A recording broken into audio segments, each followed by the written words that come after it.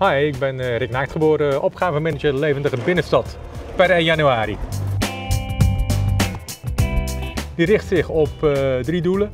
Uh, het vitaal en toekomstbestendig houden van de binnenstad. Als binnenstad voor de Dordtenaren, een beetje de huiskamer van de stad. Hè. als binnenstad van de regio.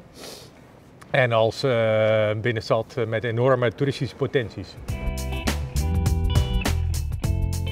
Zijn in 1998 begonnen met een programmatische aanpak van de binnenstad.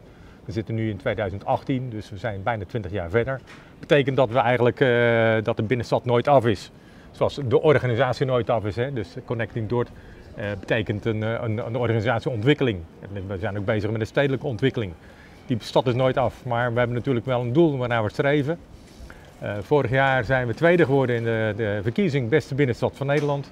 En een van onze hoofddoelen is om ooit die titel te gaan halen. Beste Binnenstad van Nederland. Dat is ons doel.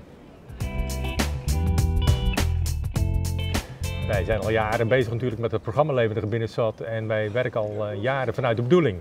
Dat betekent dat wij uh, zijn voor de ondernemers. Dat de ondernemers uh, terecht kunnen binnen het stadskantoor, ook binnen de collega's van Dort Onderneemt. Van, als ze zich hier willen vestigen of vragen hebben, dan kunnen ze daarvoor terecht. Maar dat de binnenstad ook wat aandacht nodig heeft, dat uh, zie je naast ons. Wij zijn in contact met de eigenaren en ondernemers om te kijken of we de leegstand kunnen vullen. We hebben een vacature binnenstadsmakelaar op het net gezet als een van de eerste matchingsvraagstukken. We hopen dat daar een goede match uitkomt en dat daar een goede collega zich meldt om ons te gaan helpen om die leegstand te bestrijden.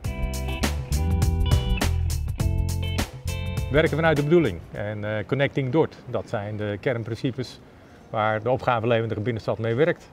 Verbinden van de leefwereld en de systeemwereld met elkaar. De mensen van het stadskantoor verbinden met de mensen die buiten het werk uh, doen. Dat is denk ik de kern van deze opgave.